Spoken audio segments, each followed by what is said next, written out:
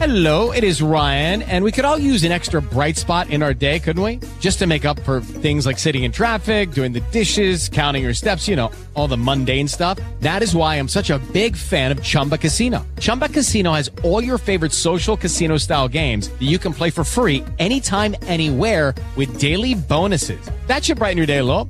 Actually, a lot. So sign up now at chumbacasino.com. That's chumbacasino.com. No purchase necessary. VGW Group. Void were prohibited by law. See terms and conditions. 18 plus. Hello and welcome to the recipe for the day from Kitchen Newbie.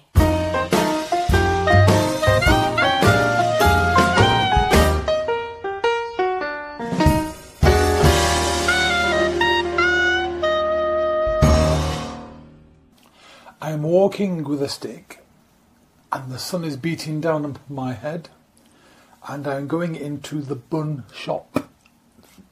And it's not Mrs. Mrs. Miggins' pie shop, it's the bun shop. And my name is Samuel Pepys, and the, in the bun shop, the king buys his special buns from the bun shop, uh, called Chelsea buns. Oh, is that right? And they're two pence each, twopence each. Which is rather expensive if you're not big, fat, and healthy, and one of the aristocracy like me. But for the rest of you, it's just hard ched. You'll have to make your own. That's it. It's all about Chelsea buns. Now, I didn't realise that was the history of them. Yeah, they Oh, I got pulled realise. down. The, the the bun shop in Chelsea was pulled down in something like 1830, something like that, It's because it Mm. was falling to bits anyway. But um, yes, that's where it started. Uh, consequently, Mr. Blackadder, um, he went to Mrs. Miggins' pie shop. Shoppy. Noticed that at the end. Well, the, the wonderful thing about Chelsea buns is that they are absolutely delicious and they're not too sweet. You can make them as sweet or as not sweet as you want, basically. and they're very adaptable. What you need to make first of all is a bread dough. Is the strong using your strong flour, but there are some additions because normal bread dough is flour, salt, yeast, a bit of oil, and warm water. But the Chelsea bun dough is a much richer version of that. But again, you can make it as rich or as Not rich, rich as you you want. You can use the ordinary bread dough. what you will need is 700 grams of uh, strong flour. Now, if you've got white, use white. If you've got wholemeal, use wholemeal. Today, I used a mixture. I used mostly wholemeal, very finely ground, strong flour, plus um, some white. But it's got to be between 700 and 800 grams. But I use 700 today. That's sufficient. And then you'll need to put one rounded teaspoon of salt into your mixture. Now, pop it in and just stir it round with your fingers or your spoon. And then you need a 7 gram sachet of fast action easy blend dried yeast that you can buy Anywhere. anywhere Yep. virtually. Anywhere that sells strong flour will sell that yeast. I suppose in the pie shop, they wouldn't be able to go to the supermarket and buy a packet of, of ordinary yeast, Well, of dried yeast. dried yeast. No, they would use fresh yeast. And if you want to use fresh yeast, use about t- a 10 gram piece and you'll need some warm water and a teaspoon of sugar. And all you do is you crumble it into a jar, a jug, and then pour over a little bit of warm water, not hot. Just, Yeah, just, just feels warm to it? you. Yeah. And then stir in a teaspoon of sugar, a small teaspoon of sugar, And it'll go nuts. and then just cover it up and put it in a warm place. Leave it for about half an hour, and it'll all froth Yeah, up. the, the dinner time for the yeast lads. It is, yeah.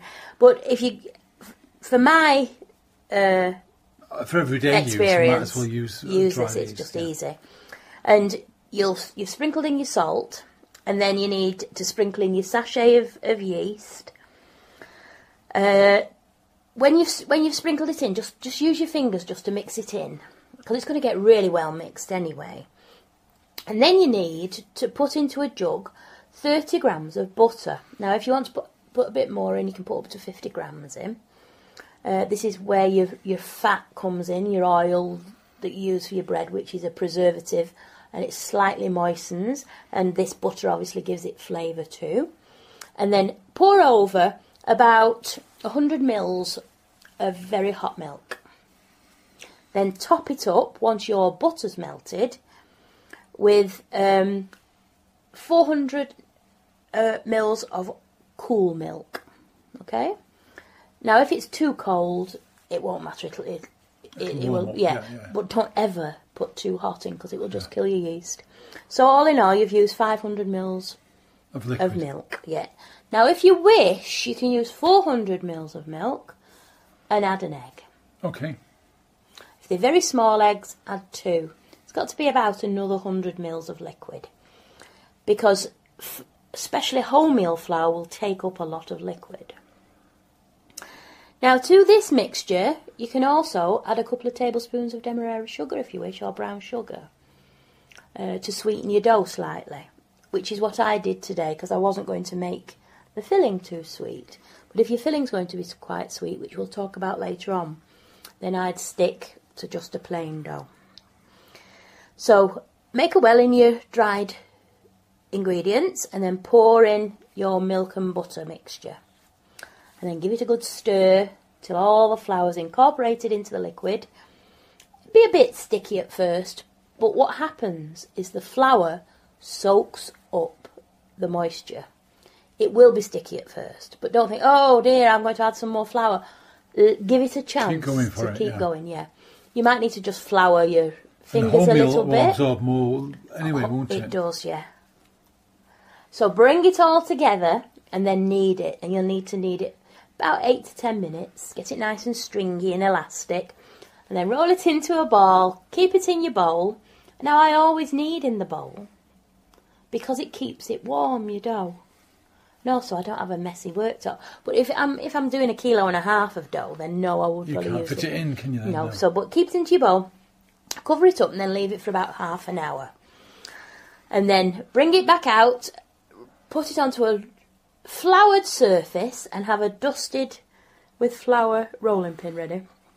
And you need to roll your dough out till it's quite big rectangle. Now I'll give you about 52-ish centimetres by about 44 centimetres. So Pretty it is big, isn't it? quite big. How thick is it? Half a metre. Well, it's not very thick at all. Right, less than a quite centimetre. thin. Yeah.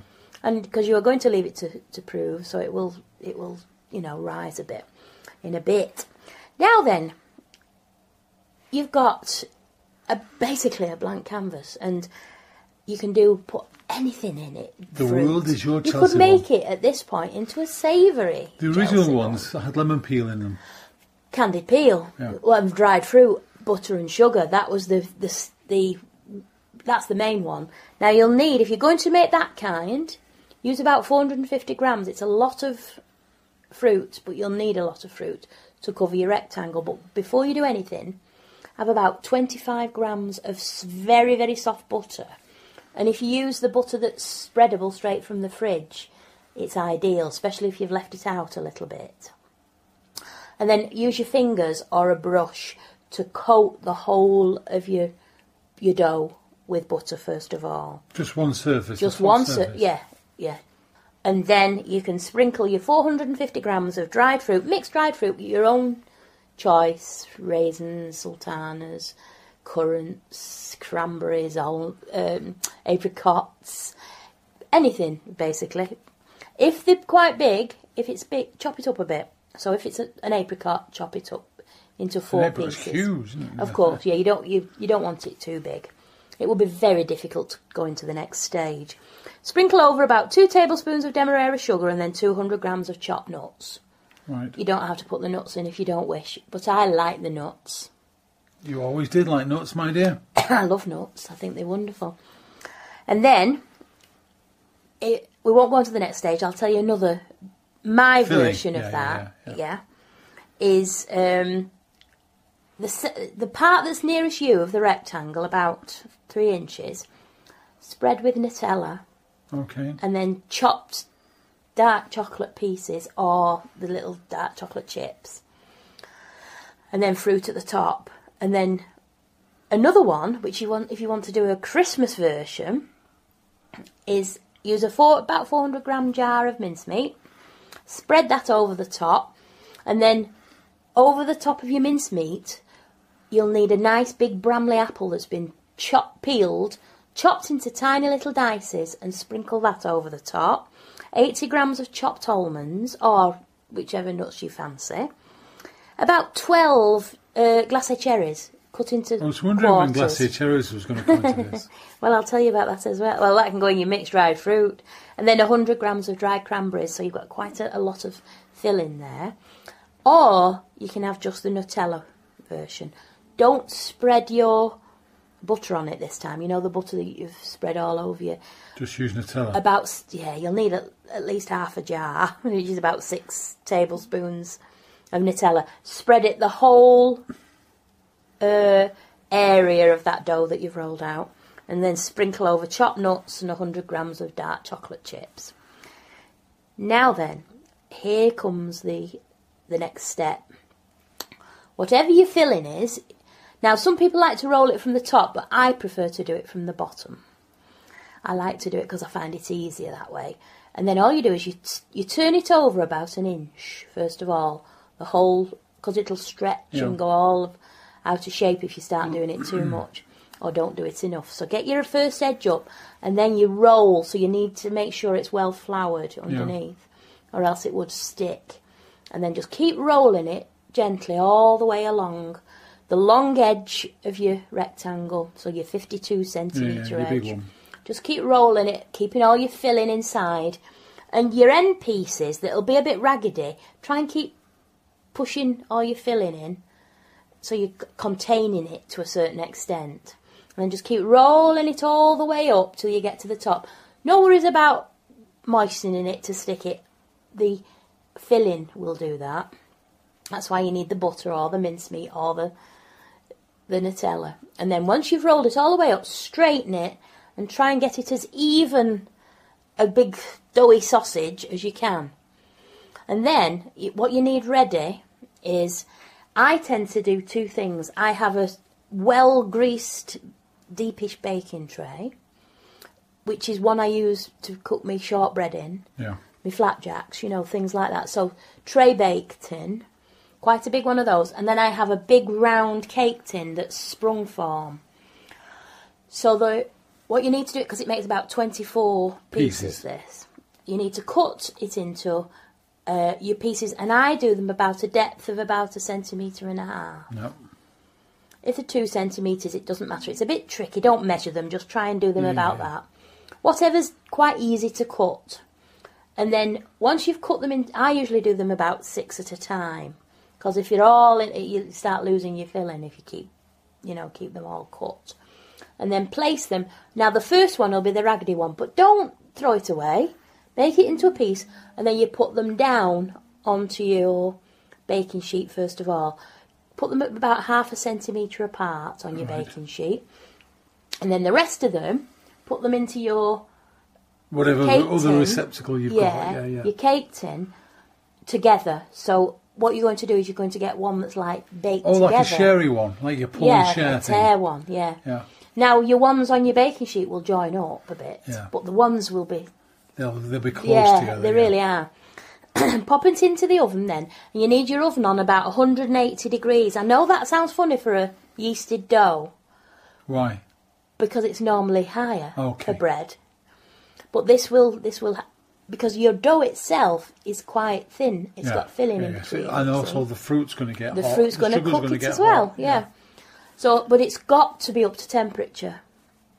So it's got to be 180 degrees. So you preheat your oven. Preheat your oven so it's up to temperature. That's um, three seven But wait five or three fifty. Yeah, gas mark four. Mark four. But before that, it's before you preheat your oven. What you're going to do now with your things that are in your uh, baking sheet or your tin is you're going to leave them to prove for another 40 minutes Right. Okay.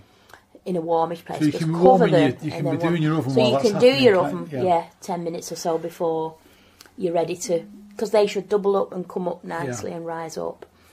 Um, and then you bake them in the oven, and it only takes about 15 to 20 minutes. Be careful because they do catch round the edge a little bit. It doesn't really matter because it's quite nice, it's tasty, but don't let them burn. There was a picture of um, the pie shop Oh, yeah. um, Chelsea bun, Yeah, all right. Yeah, and yeah. it was quite brown. Oh, they, well, they are. yeah, And it's it's to do with, with the ingredients. You Yeah. see, the, this the sugars from the fruit. Now then, when you come, they come out of the oven, have ready three tablespoons of hot water in a little pan. Uh, about a tablespoon of uh, soft brown sugar, and then about four or five tablespoons of maple syrup. okay. and then just mix that together.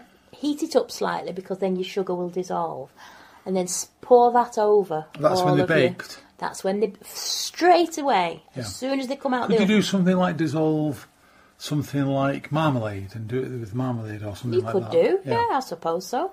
I never have, but you could do. Because it means for me, I find the flavour of maple syrup quite nice Mm-hmm. when there's a little drizzle of it on a, something like a crepe. Or like like Yeah. um, But um, that, that's what I put on yeah, yeah, yeah, today. That, that and Nutella together, I, fi- I would find that too just much. too heavy. Well, if, if you're going to just do it Nutella, I wouldn't do that. I would just do a, a mixture of icing sugar and warm Right, water. just to and give it a sprinkle that on. You want a glaze on Yeah. the top. And then sprinkle over a little bit of demerara sugar to bi- give a bit of crunch yeah, as well. And then just let those cool. Now, the ones in the uh, tin that are all closed together, well, you'll prize them apart and they're delicious because they're all squidgy and beautiful. And then the ones on the baking tray will be a little bit more crispy on the outside. So you've got a nice yeah, uh, sort of well a contrast really Yeah. of, of textures but you can quite easily make those into a savoury one with uh, cheese and onion you could do uh, pork mince ones you could That like sounds make nice, sausage yeah. meat ones and you could make some Things really like nice that. sort of Chinesey type things. Yeah, couldn't you you, could, with all you sorts could. of interesting yeah flavours. there's so many different things and have a have a bit of a go with with a different sweet chili sauce, yeah and if you wanted to make two different kinds a duck and hoisin sauce one. Yes, that would be lovely. What you mm. could do is cut your rectangle in half and put one filling on one side, one on the other, and then roll them up. So you'll Yeah. have 12 of each or, s- or so. That's, Uh, that sounds and like a winner. That Yeah. I might get a burger van and sell those outside a football ground somewhere. But Chelsea buns are, have got such a, a wonderful ability to to change, you know, uh, your Adapt. It's just the, the basic idea, isn't it? Yeah. And they add to your. Uh, and as I say, they're not too sweet. They've got very little actual sugar contained in them. And you make so many pieces that there's the sugar, yes, in the dried fruit and in the Nutella if you're using that. But if you consider how much there is in each each bun, there isn't much. But they are delicious. Absolutely. Now, before we uh, finish off, I'd like to say that we got a message.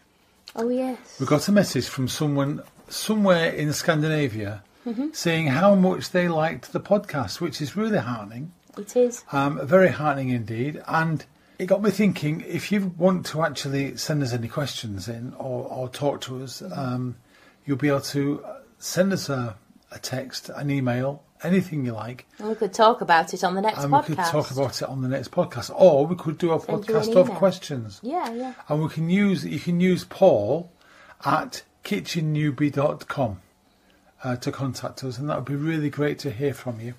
And that leads us on to where you can hear us because you can hear us on iTunes, you can hear us on Spreaker, you can find us on kitchennewbie.com, and you can find us um, in uh, bcradio.com Via Facebook. via Facebook. You can find us all over the show. So please do come along, like us on Facebook, and also do please send us a message. We'd love to hear from you. Thanks for listening to the Recipe for the Day podcast. You'll find all the information in the show notes and very shortly on www.kitchennewbie.com.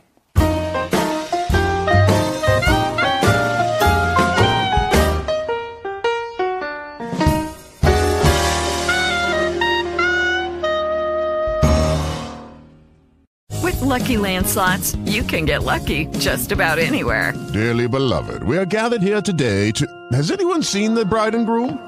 Sorry, sorry, we're here. We were getting lucky in the limo and we lost track of time. No, Lucky Land Casino, with cash prizes that add up quicker than a guest registry. in that case, I pronounce you lucky. Play for free at LuckyLandSlots.com. Daily bonuses are waiting. No purchase necessary. Void where prohibited by law. 18 plus. Terms and conditions apply. See website for details.